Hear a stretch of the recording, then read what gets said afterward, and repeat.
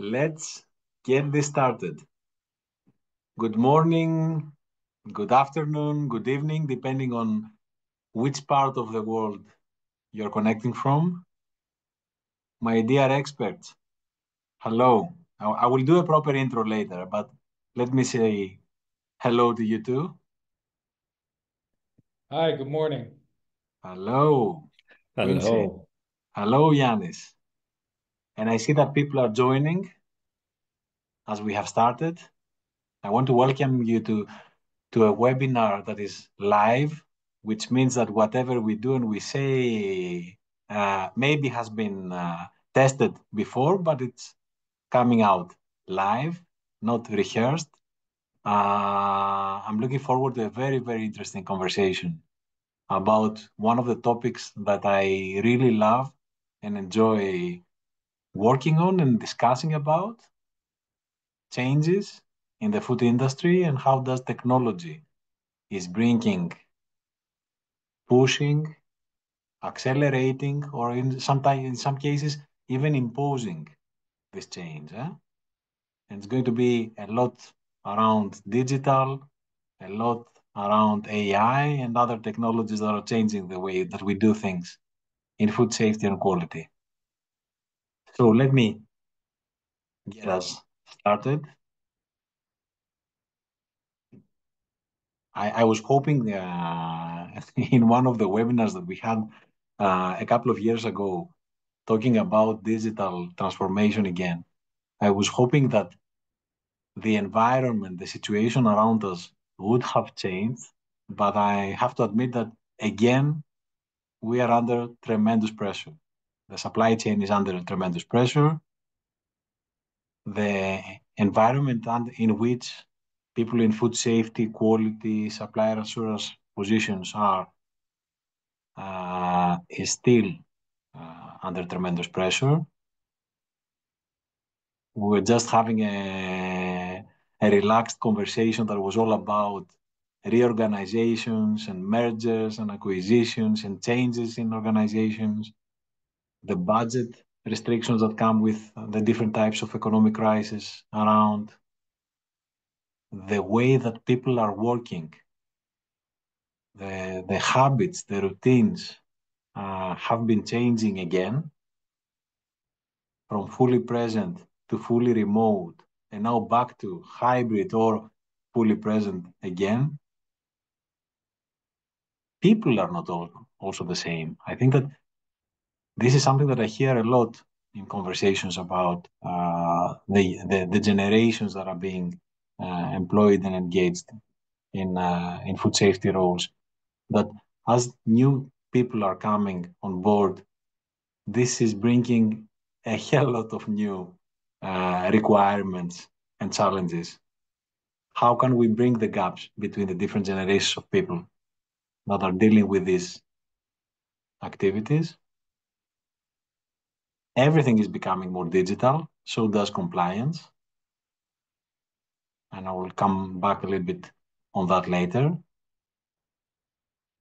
Whether the way is produ- we are producing food is sustainable is becoming a necessity, uh, an important factor in the way that we are assessing where ingredients are being sourced from or the way that suppliers are working to deliver this uh, as an input.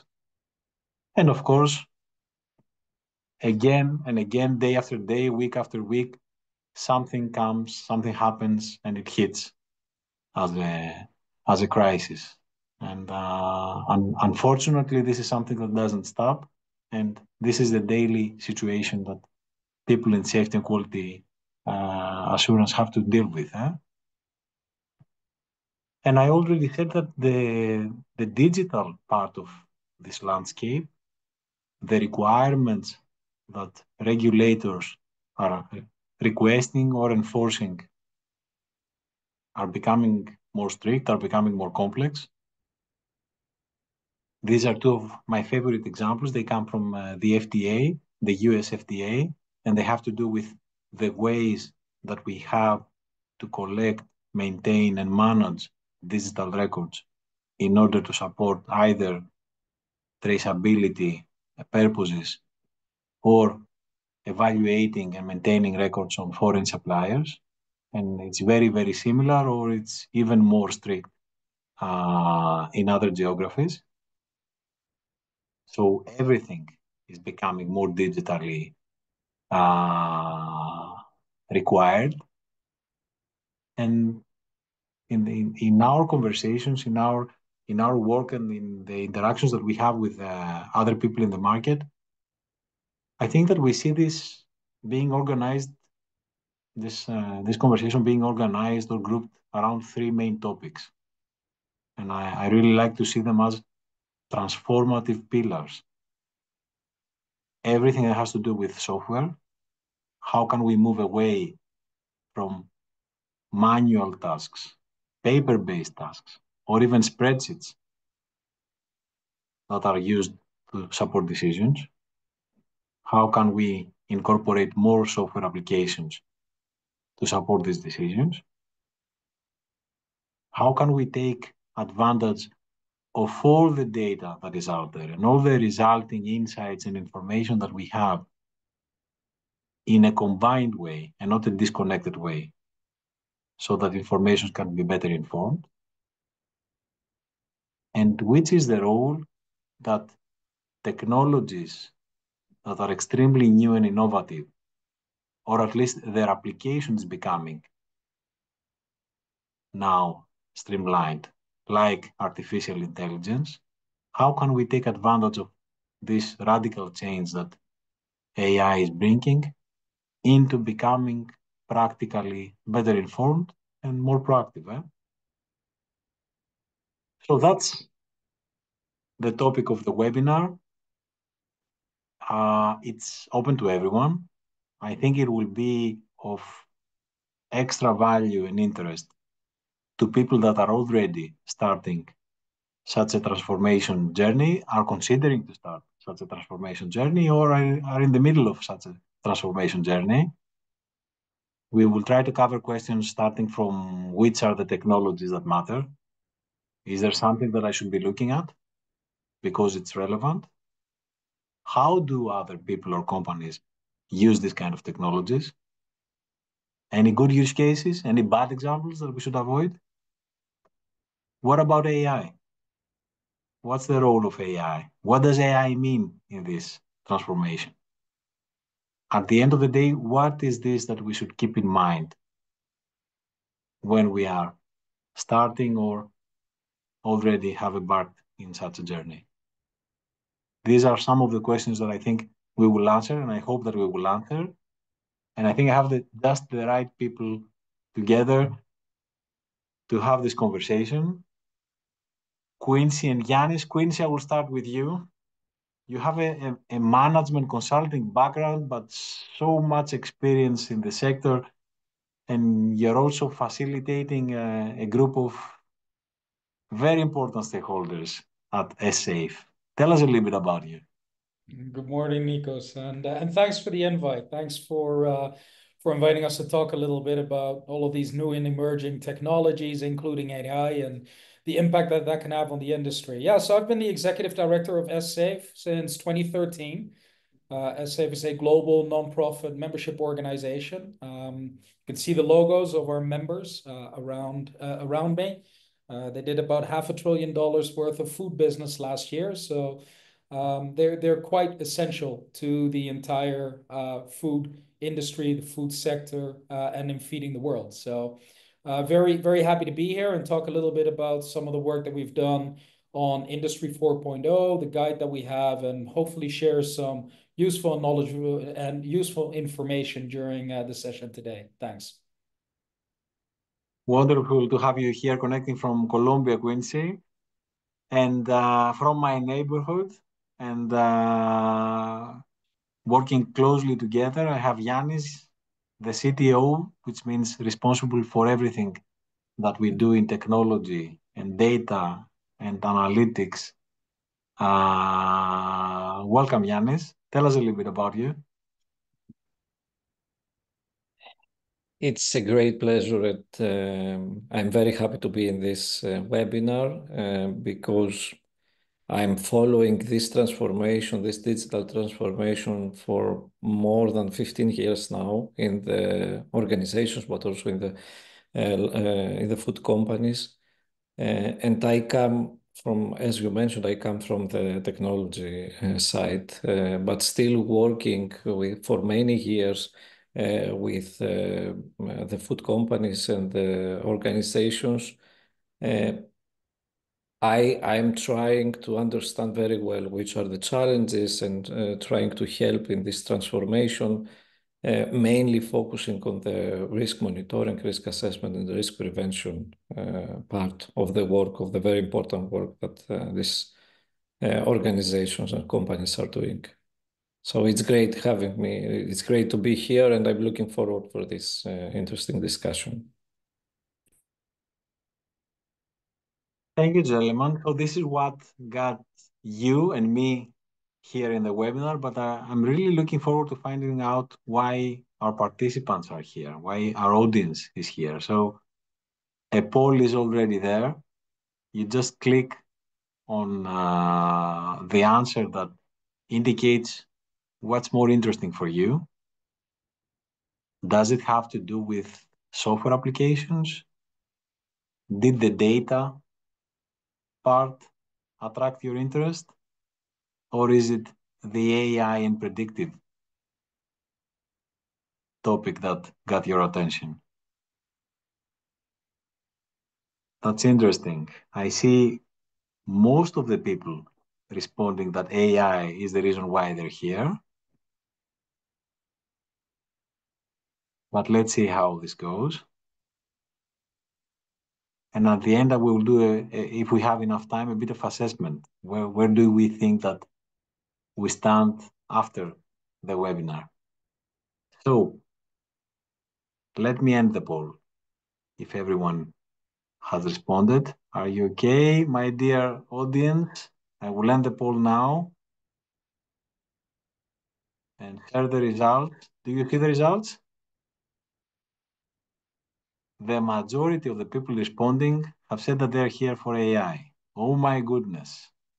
But we do have representation from the people that want to learn more about software applications and the data fanatics. Thank God. Okay, let's see how this goes.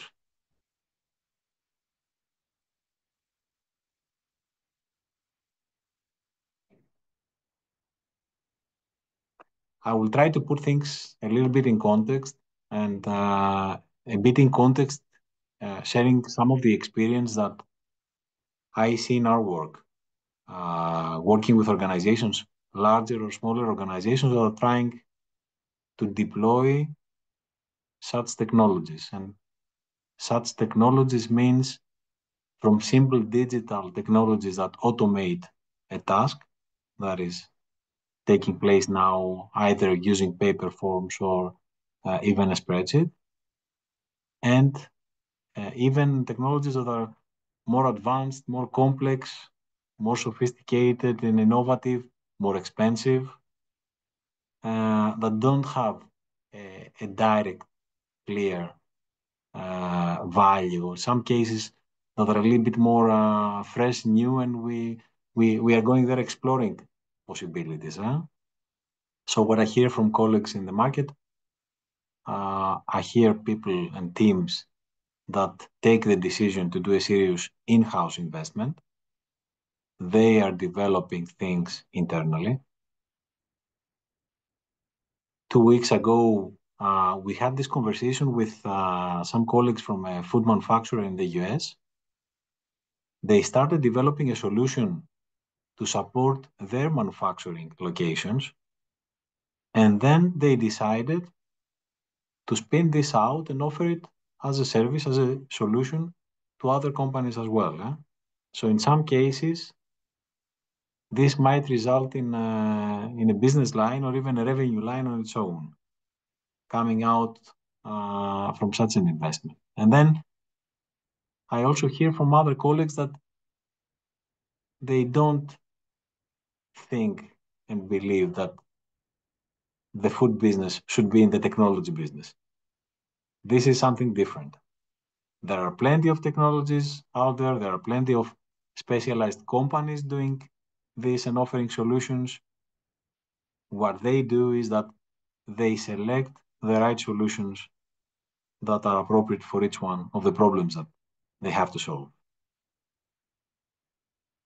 Now, these are the cases where we have a strategic view in either investing internally or selecting solutions. I've heard several colleagues saying, "We don't care. We let our teams being autonomous. We let them decide if they want to use something. It doesn't matter if it is coming uh, from an internal team or an external team, but they will decide as long as, as they're solving something that they're facing as a challenge. And then we have also several people that are more skeptic, especially as far as uh, innovative technologies as, as are concerned. They want to first make sure that someone else uses this, proves return of investment and value, and then they will go to the best practice and adopt it. I'm not saying that one approach is better than other. I'm just sharing some of the approaches that I've heard people following. Quincy, Giannis, what about you? Did what do you hear from the market? Any anything different? Any option that is a little bit more popular? Well, it's still early days, right? Uh, depending on what kind of technologies you're looking at. And um, as we're seeing more and more new technologies emerging, uh, the recommendation, at least from within SSAFE and, and based on the experience of some of the SSAFE members, has really been around developing strong multidisciplinary teams, particularly when we're talking about medium and large size food businesses, right? Um, to make sure that when you're making decisions on what kind of technology to bring in, that you include your food safety quality people, you include your regulatory people, you include your IT people, you also include finance, and you also include HR because people need to be trained on the technology as well. So our recommendation really is bring together a multiple multidisciplinary team um, to make sure that everybody across the business knows what technology you're bringing in, why it is that you're bringing it in, how you're going to implement it, and how you're then going to focus on maximizing the amount of benefit that you can get out of the investment in those new mm. technologies. Right. Here you're saying that it's a quite strategic uh, decision. It requires a little bit of mobilizing and utilizing resources internally. Giannis? I'm very much aligned with what we are discussing and what you have described, Nikos, about the different approaches. Indeed, uh, the speed of the adoption um, uh, it, has different uh, variances. It, varies from organizations and companies that they are more keen and they can deploy even large solutions, large digital technologies inside their organizations quite fast and efficiently, but uh, having also others that need some more time uh, and they need carefully to examine which are the workflows that they, they need to enhance and they want to make smaller steps, even for instance, aiming at a one deployment every year uh, or having uh, an important de deployment uh, to be uh, realized within a timeline of two to three years. So there are different approaches uh, that, that I see. It depends, of course. I agree that it depends on the on the size of the organization, the size of the company. Uh, so, both in some cases, it's better if you have you still are a very large company, but if you're uh, a bit smaller, you can be more flexible, but uh, uh, it's also a matter of the structure that you have, how much IT support you have internally to be able to support mm-hmm. these kind of things, how much training you can apply in these cases. So yeah, I definitely I see different approaches. And I, I hear you saying that time and the way that you want to approach it time-wise and plan, deploying, plan and deploy something like this in terms of the timings is critical in selecting uh, the approach at the end of the day and mobilizing the, the right resources. Uh, I think I also also heard you a little bit talking about some of the challenges. I, want to share a couple of them that I'm hearing very often about. Uh, my favorite one, I think, is the first one because it's a it's a trap, it's a pitfall that it's is very very easy uh, to to fall into, and then to to devote significant amount of energy and resources because suddenly the priorities are driven by technology. Suddenly, what is happening what is happening in the whole transformation uh, project is not driven by the business uh, needs, but, but by the preferences or the requirements from the people uh, responsible for the implementation part of it. Huh? Mm-hmm. Or I've, I've also heard sometimes uh, about cases where using different solutions, especially from external parties and providers, uh, turns the project into an arena where they, they, they, they, there is the need to manage competing priorities. Instead of using solutions to solve two different problems uh, that the organization is facing, you have the two suppliers uh, trying to impose their own agenda, and then it becomes uh, a different uh, a different type of uh, challenge. Uh, another challenge that I see is when we have full independency teams selecting their own solutions and, uh, and tools. It's very easy to, to for something like this to become uh, disconnected from the main strategy. And having the team that is independent uh, and autonomous, solving very quickly something uh, in a very flexible and agile way, they also become disconnected and they have their own agenda, their own priorities, and you're trying to get them back to what you're trying to do uh, uh, more centrally or strategically. And the last one, I, I think that I see two versions of it. One version is where we have lots and lots of investment, lots and lots of planning, lots and lots of implementation and development and initial versions, etc. But it never gets to the end. It never fully delivers something that people can use. It becomes a black hole that is consuming time, money, energy, and it never flies.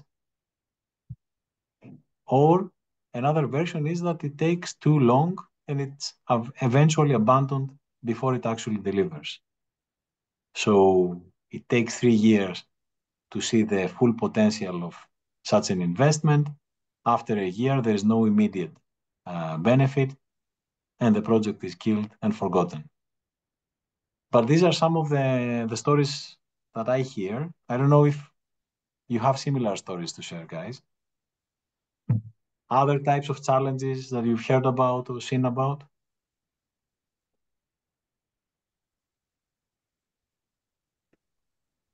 Giannis, you want to start? Yeah, yeah, I can I can start. So the only the only thing that comes into my mind it's it's important in terms of challenge is that uh, uh, it, now that the companies have deployed many different uh, systems a new challenge is uh, in front of them. Uh, the integration of these systems and how how difficult it is to connect the different the data from the different systems in such a way that can facilitate very much the assessment, the prevention of the food safety risks.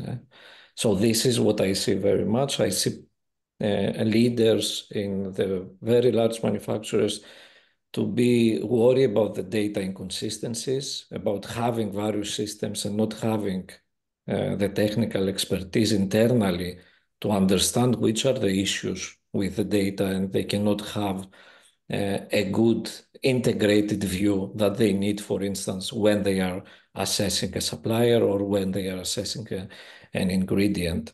So this is the only challenge that uh, important challenge that I would like to add uh, into your points. Mm-hmm. And we will talk a little bit more about data in a while. Quincy, yeah, anything Nikos, that look, you as you mentioned earlier, you mentioned uh, FSMA 204, right, and traceability rule. Uh, we're seeing some issues around that already, right? Uh, how how is the information and the data going to be um, going to be collected, and how is it then going to be uh, shared, uh, both with the FDA as well as within the organization? Is it going to be interoperable? You're talking there about competing third-party solutions. If every major business in the US starts using different technologies, uh, there's going to be some challenges there. So on that front, as I say, we're we're both talking to the Adjacent Group and uh, and the best practice group that they are setting up, as well as the GS1, and see where some standardization there can help.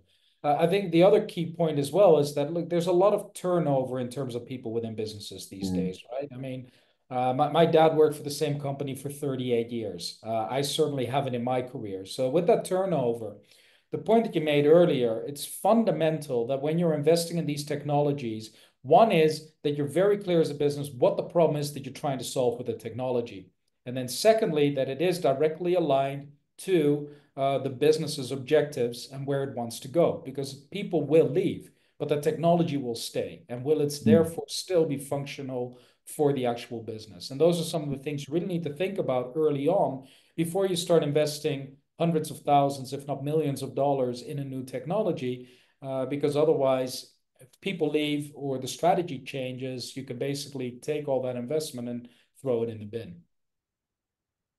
That's interesting. And I like the fact that you're bringing the human factor forward. This is something that I haven't thought about, but you're absolutely right. It can become a challenge on its own, especially when we're talking about technology, eh, where uh, turnover is even uh, higher, I think, or at least the opportunities for people are, are more. And then I, I heard both of you highlighting data interoperability. So let's let's take the step to to dive a bit deeper in into the three areas uh, that I that I mentioned earlier, the, the key pillars that I see. Uh, first of all, I want us to start with the basics, to the extent or the degree that we see software applications taking over or supporting or automating manual uh, work to, to a big extent. I want to hear about what you see in the market, what you hear, which are the experiences that you have to share. And uh, Giannis, I will start with you. Great. So in terms of the software systems, I see very large manufacturers deploying uh, systems in order to manage suppliers, manage the product life cycle, uh, the quality processes, uh, to store and manage laboratory testing data, to, to implement a better risk monitoring, risk assessment and prevention approach. Uh, and as I mentioned, uh, it's a challenge of at the same time deploying uh, so many systems, so many different systems. Uh, so from all these systems, I will focus more on sharing my experience on uh, uh, the software system that can be used for risk monitoring and risk assessment. So I see very large manufacturers to use uh, a system like FoodAkai every morning to scan what has been announced globally concerning the products, the finished products that they have, the ingredients, and the suppliers. This helps them to save uh, many hours of visiting the website, one website after the other, and discover the information and understand if this is the same information or not. So this is one use case that I can share uh, for the software systems. Uh, another use case is how a system like FoodAkai is used to perform a real-time, a live and on-the-spot risk assessment for key ingredients and suppliers and also the facilities. In this, usually they need every year a couple of months to do all this assessment thoroughly to make sure that they will consider all the risks, the frequency of these risks. And now, uh, using an automated approach, they can save weeks that uh, have been previously spent in very complex, in dealing with very complex spreadsheets, uh, and in performing on the fly a task that is used to take place only once per year. So now they are more flexible. They can do that uh, uh, very easily. Uh, they can consider all the available incidents, food safety risks that are out there. And this simplifies the everyday work and gives them some more space to think and to decide to take very important decisions. Mm-hmm. So these are a couple of use cases that I see. They have to do with monitoring information, processing information, using it to take decisions. Quincy, what about you? What do you think? But you have to be unmuted so that we can hear you. Sorry about that. No worries. There's always one, right?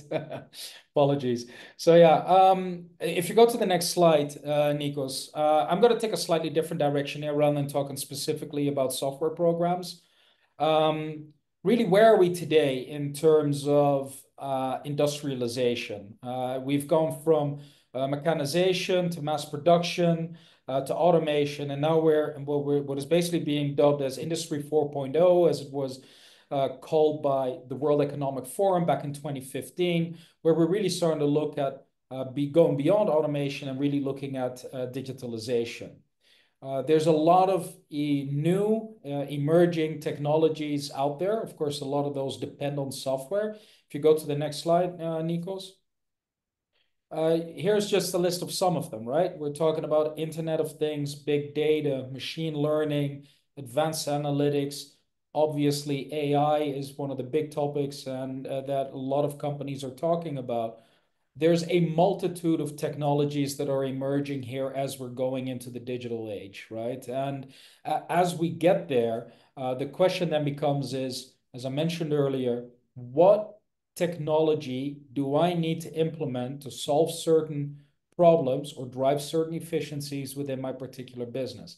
And you cannot take them alone, right? You cannot just take and say, "Okay, artificial intelligence is going to solve all my business problems," and focus entirely on that. It's an it's an important solution, but it's only going to be one of multiple solutions going forward. And then the question is, how do you integrate those different kinds of technologies? How do you ensure that they really benefit the business and that you get bang for your buck as you invest in them? So what I hear you describing is that apart from looking at software applications uh, at specific separated use cases with lots of depth and value, as Giannis was describing, we have to keep in mind that now software is everywhere throughout the production life cycle. So there are so many systems run by software that have to talk to each other and flow and integrate and connect with what is coming next or what is working on top of them. Uh, this is a, something that I didn't have in mind. It makes perfect sense to me and makes this an even more complex uh, environment. How do I make everything uh, flow properly? Yeah. And again, your staff, Nikos, is not going to be an expert in each one of those technologies, right? They may have some knowledge in some, not in others. And again, I'm assuming most of the audience that we have with us today come from a food safety quality, perhaps a regulatory background. They're not going to be experts in AI, in machine learning, in data analysis, et so The question then becomes is, even if I implement those particular technologies within my business, what are the resources that I need, both human and otherwise, to really make it an effective investment for my business? Hmm. But I do, I do hear you also highlighting a reality. The reality is that, guys, be prepared for lots of different software applications being a necessity. They are going to come. You, it's something that we cannot avoid. And the challenge of getting them to work together is going to be there. Huh? Absolutely. And you already highlighted the, the backbone, or at least the backbone in terms of decision making, the database.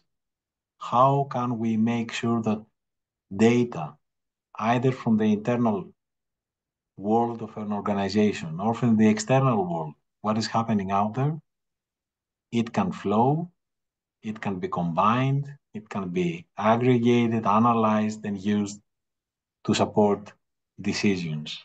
How does this work? What do you think? Let me get your reflection again. Giannis. Yeah, as I already mentioned, imagine that, that right now with all these different systems uh, uh, deployed on a very large uh, food manufacturer, uh, a lot of data are generated, millions, trillions of data are generated every day. Data that have to do with uh, the testing, data that have to do with audit, audits, with uh, food safety specifications, regulatory data, environmental data from facilities and even production lines so here I can I can share two use cases from my experience working with uh, uh, very large manufacturers.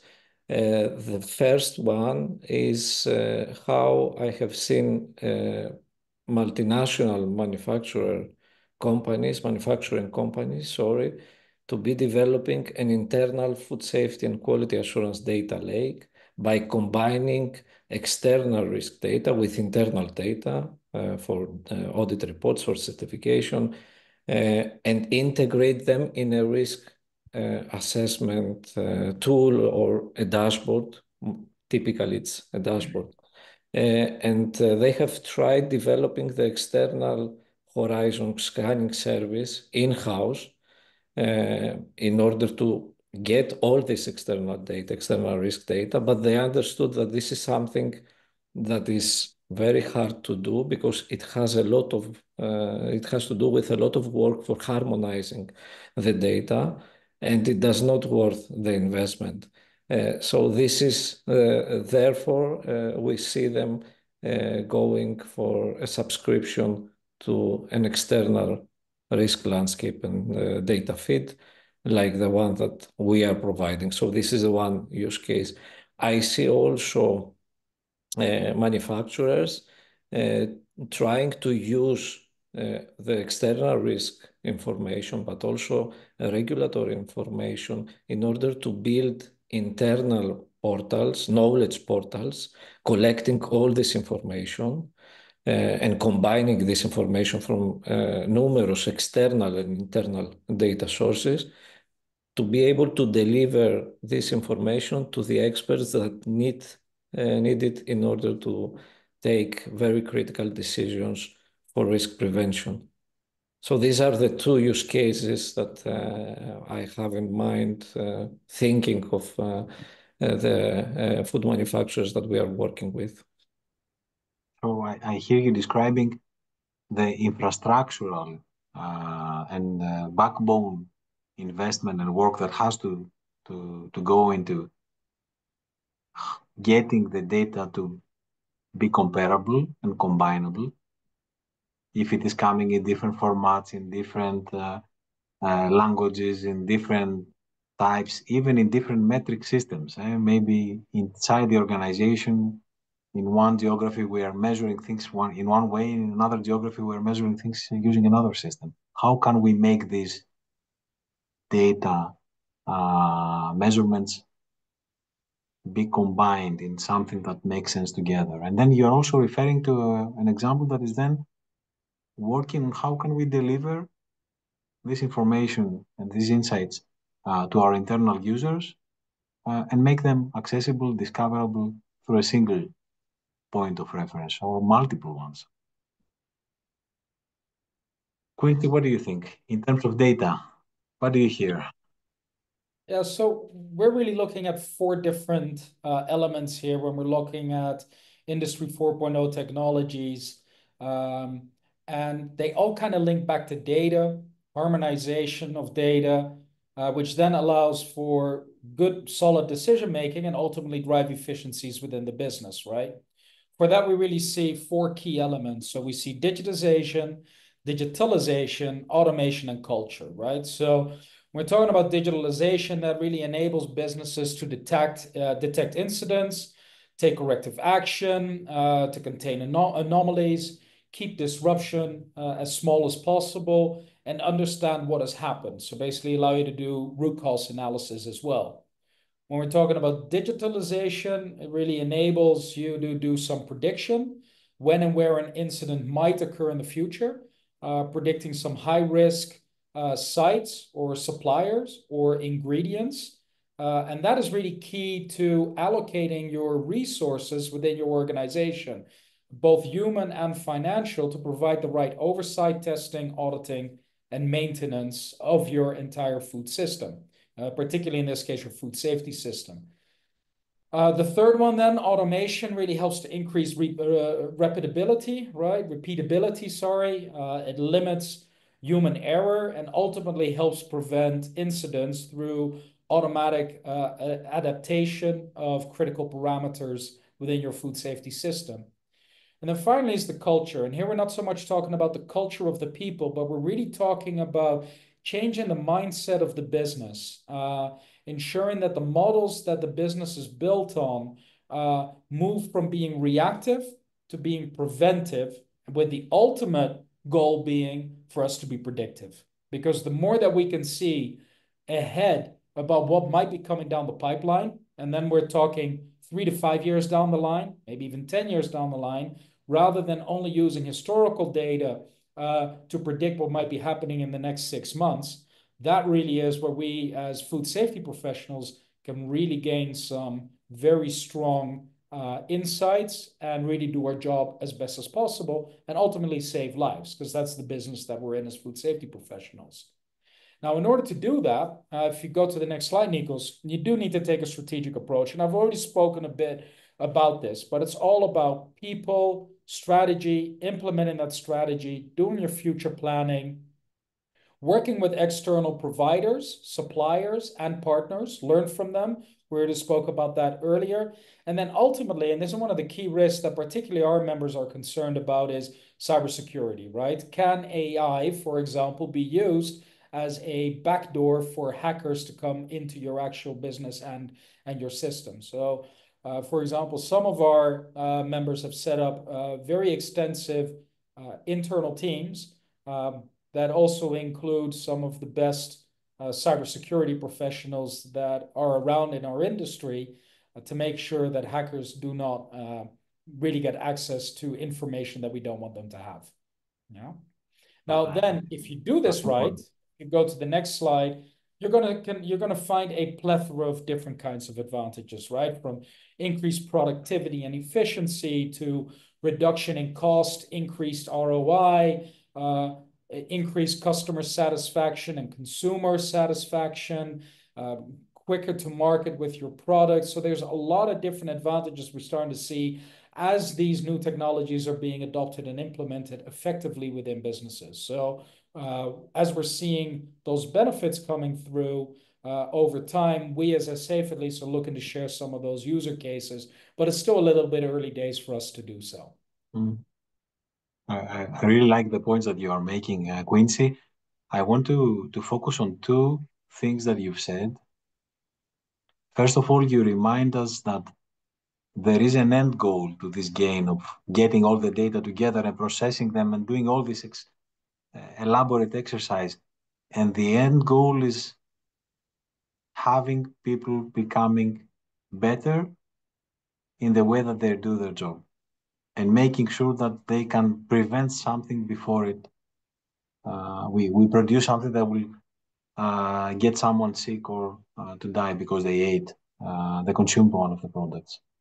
And this is essential in my eyes because throughout this journey that you explained, from the basic stuff of making some information available. It's on paper, it will get lost. Let's make this available through digital. And all these different and elaborate steps, it's very easy to fall in the trap of becoming too much about technology and missing the end goal. That it's not about technology. It has to do with supporting people that take decisions.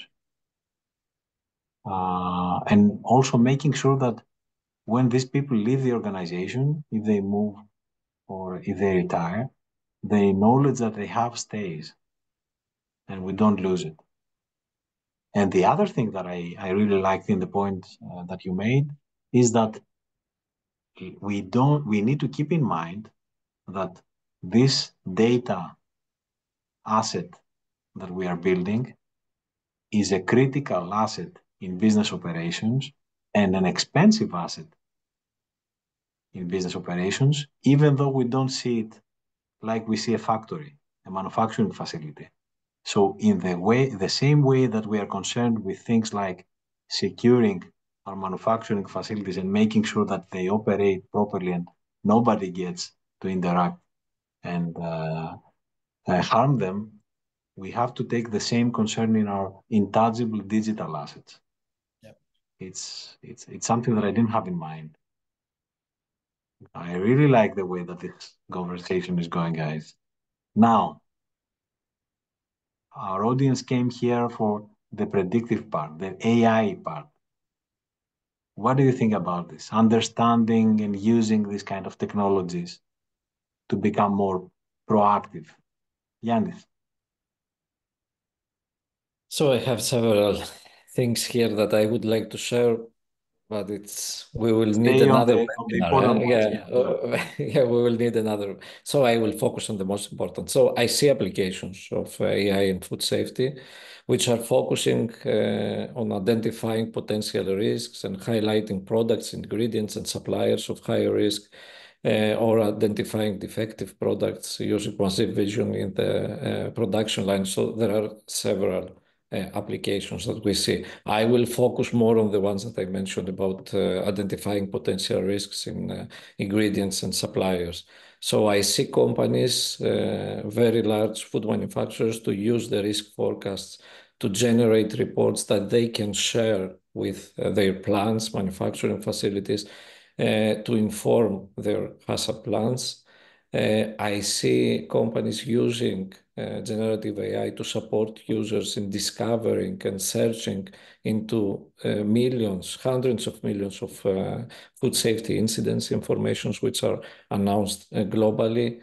I see also the companies to incorporate the hazards forecasts to manage the potential hazards and foreseeable hazards and to make sure that the ingredients and suppliers uh, are at low risk or to mitigate, to take critical decisions to mitigate the risk. And I see also how manufacturers are using uh, the forecasting models to identify early the increasing trend uh, of uh, an emerging issue. I will share a very specific example uh, in order to prevent such risk in their supply chain. So just to illustrate this through, some, examples, uh, they are uh, using the using AI, we can provide hazards forecasting in uh, FOODAKAI, and uh, the companies are incorporating this to identify which are the future uh, hazards, which ingredients will be affected, and of course, they are using this forecast and the forecasted hazards uh, and to see which are the suppliers that will be mostly affected by such uh, future hazards that uh, uh, we can, for which we can predict the increasing trend. So this is the, the one case, and the manufacturers are, are using this uh, forecast to identify uh, the emerging, uh, specific emerging threats in very critical ingredients that they are using. So we have we are working with a manufacturer uh, here that was using uh, FOODAKAI at the time that we had the crisis with ETO. The FOODAKAI highlighted that there was an emerging risks, a risk for ethylene oxide, and also forecasted the highly increasing trend. So uh, these trends, these forecasts can be also specific for, for the regions. So since he was uh, sourcing sesame from India and the risk for India was high, he decided to increase the, the sampling, the test sampling, and uh, finally he was uh, uh, changing. He changed uh, and explored alternative sourcing locations like Egypt in order to mitigate the risk. And uh, following and uh, monitoring the trends that are forecasted, if we go to the next slide, when our client uh, saw that uh, the predicted ETO incidents in the sesame seeds will significantly decrease, then he restored uh, the supply chain. The sourcing from India was restored. And when we are discussing this use case uh, together with our client, he, he's saying that this was a very good example of how they managed to prevent risks in their products where they were using a lot of uh, sesame. So this is a very a examples. Huh? Yeah, this is a, a very specific use case, and it's the type of use case that really slowly builds confidence and understanding of how an example of such a technology. So you're here, you're showing uh, how forecasting can support decisions. Uh, and it takes time and it takes lots of examples until this kind of uh, technology can be integrated and actually be trusted. Uh, this is also what I hear from the market. Quincy, what do you think? Yeah, so when it comes to food safety, really, we're still very much at an early initial nascent stage when it comes to artificial intelligence, AI, uh, within the food safety space. We're starting to see it mainly being used right now for customer insights, customer complaints, customer satisfaction, um, and the analysis of big data sets. Uh, some use in quality, uh, but very little use so far in food safety. There's a few examples here and there that I can share if we have enough time. Where do I see um, the most benefit coming out of AI in the coming near term, let's say the next 12 to 24 months? One of them clearly is what uh, what Giannis was talking about. Uh, that is very much around what are some of the food safety trends, analyzing big data. Uh, there are some challenges around that. The accuracy isn't entirely there. One of our members is saying, look, we got about 68% accuracy. So what they're doing with the data is a little bit different. They're taking, they're, they're throwing AI at it. They then know that the accuracy isn't 100%, but then they at least have done a first cut using AI and saved a lot of time and resource there. Then pass it on to their own internal food safety experts to then do a deep dive in those areas where they see potential risks emerging. Now, of course, 68% is good, but when we're dealing with lives, 68% is not good enough. I mean, we got to be 100% accurate here right? Because otherwise we cannot use blindly AI on its own. So we still need a lot of uh, human intervention uh, and uh, technical expertise. Uh, I, I, personally see a tremendous amount of potential benefit coming out of machine learning and a lot of automation around that. Uh, and we're starting to see some significant investments in that space. Uh, and then the other one, obviously, we spoke about earlier already around traceability and what AI can bring to that, particularly in light of FSMA 204. What are some of the challenges? We've already spoken about the accuracy of data. I think another one is the need to continuously update and adjust the algorithms. So as we get more knowledge and as the data gets better and as AI itself gets better, we need to keep updating the algorithms that sit under, underneath that AI, that drive the AI in the first place. If not, then we're going to start falling behind. So the algorithms need to keep being updated. And for that, you need the right knowledge and expertise to do it. Uh, the other one, and we spoke about this earlier as well, is the interoperability of systems within your organization, but then also within your own supply chain, as well as across the industry. So if we don't focus on some of those challenges, we're not going to be able to maximize the investment that we're making within AI. Um, yeah, so I'll, I'll leave it at that for now when it comes to AI. Um, but yeah, we, we see a tremendous amount of uh, potential uh, benefit going forward uh, if it's done right, but it's still early days and it needs to be taken into account with, excuse me, the overall investment that you're making in all of your technologies and don't just invest only in AI thinking that that is going to solve all your business problems.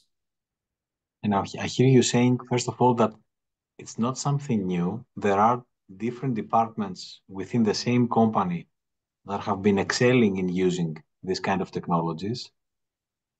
On the other hand, there are some open questions that are very, very particular to food safety, like, for example, the accuracy issue.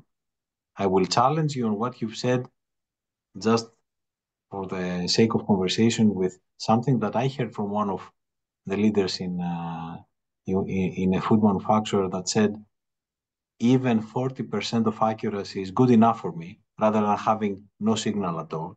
So this is an ongoing conversation about how much we can trust uh, such technologies.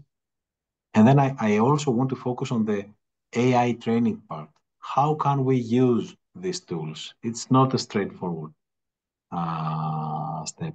We have to understand the benefits and then train people to use such tools properly.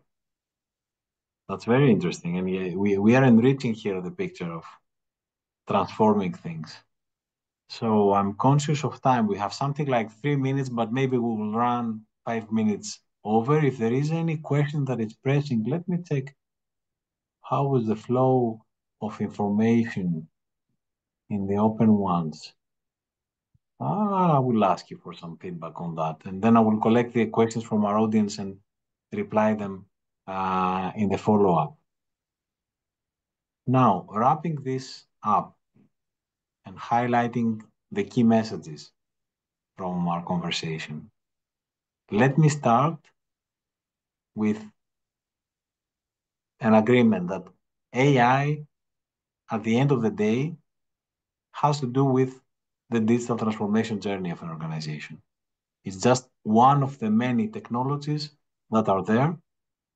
It's quite transformative, and the potential is extremely promising but is yet another digital technology that has to be put in place. And this means that existing processes that are proven, that are running, that we can rely upon, they have to change. And this requires, you already said this, people, new ways of working, lots of money, and it's all about change management. And when we talk about change management, we should expect resistance. And if we look at some of the fundamental questions, or at least in the way that I see them, eh?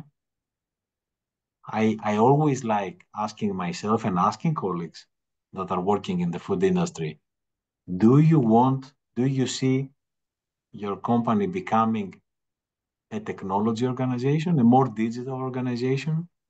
Are you expanding into the digital space by adding and investing in these capabilities? I don't have an answer, but it's one of the existential questions that I hear people discussing a lot. I've already talked about the pitfall that, at least in my eyes, is the most dangerous one becoming too much obsessed about technology and forgetting about the end goal, as Quincy, you mentioned. And I think, Giannis, you kind of highlighted the mentality that seems to be more effective, trying things, testing things, failing in putting things in place so that we can learn and improve the way that we are trying to deploy something rather than investing years and millions of resources and then having a project killed uh, before it actually delivers. Huh? Now, what is your key takeaway? If there is one thing from our conversation today that you would like to, to, to keep as a main message for our audience, what would that be? Quincy? So um, there's multiple technologies out there. AI isn't the only one, and it isn't going to be solving all your business problems, but it's coming, it's growing, its importance is definitely going to grow. And I think, Nikos, to your point earlier, is we're going to have leader, leaders and we're going to have laggers. It doesn't really matter which one of the two you are. It depends really on how you want to take it from a strategic point of view. But ultimately, take a strategic approach. Don't just think about, oh, I heard that my competitor has implemented this AI. I need to do the same. No, think about it what works for your business. Make sure you get the right people involved within your organization to make the right decisions, and then use the technology effectively to drive your food safety program forward. Take a strategic angle. Okay, that's very important and powerful. Giannis, what do you think? What's the key message today? Yeah, the key message that I am keeping from this very interesting discussion is that all these technologies make sense if they support critical decisions for uh, food safety risk prevention. And to support these critical decisions, the human factor is a very important part.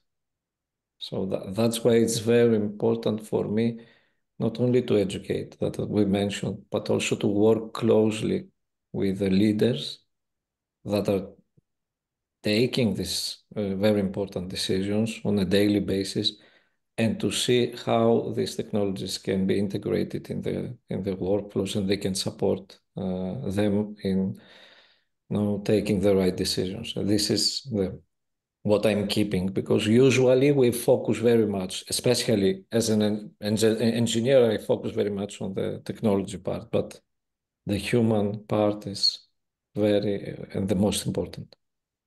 I really like what you're saying, especially considering that maybe in a future, distant or not, there will be fully automated decisions that will be taking a product off the shelf because it is an algorithm considers it unsafe.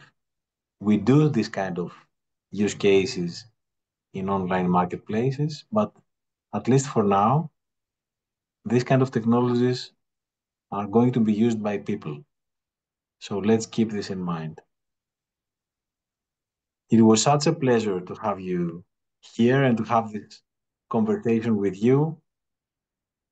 The audience understands very well that I'm having experts with me and they they are welcoming additional opportunities to to discuss with you guys. So feel free to reach out uh, either to the team of Agroknow or to SSAFE and Quincy, find out more information about uh, what we're doing, and then Uh, request an opportunity to talk to us. It started as a webinar, as a session that would be devoted on AI, but we covered so many topics.